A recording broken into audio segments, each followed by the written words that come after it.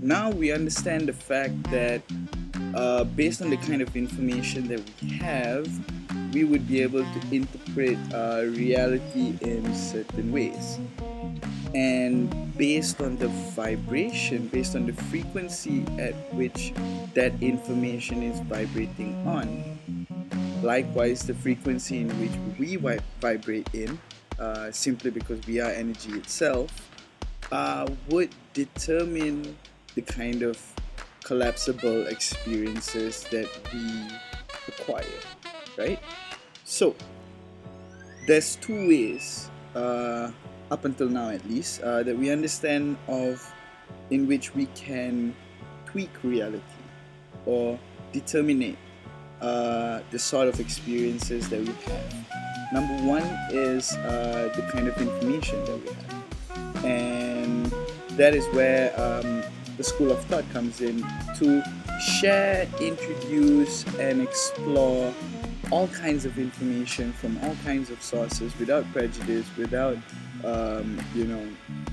whatever biasness and things like that. And just to uh, entertain the information, entertain the thought for what it is. And the second way is in which vibration in which frequency uh, in which the information is vibrating at. So, for example, if you've got um, 444 hertz uh, sound signature, then you would get the note A, if I'm not mistaken, one of. And if you increase the vibration, if you increase the frequency in which the note vibrates in, then you would be able to um, play an A note on a much higher frequency. Uh, so it has the same information, but it's expressing itself in a higher vibration, in a higher octave, right? So, how do we raise vibrations then?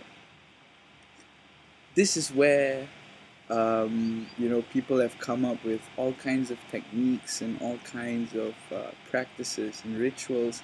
in which to raise uh, our vibration. Because if we were to vibrate in certain frequencies, right, then information that vibrates in similar frequencies would be open to our experience, right? And it's very the way the way I explain this is like, um,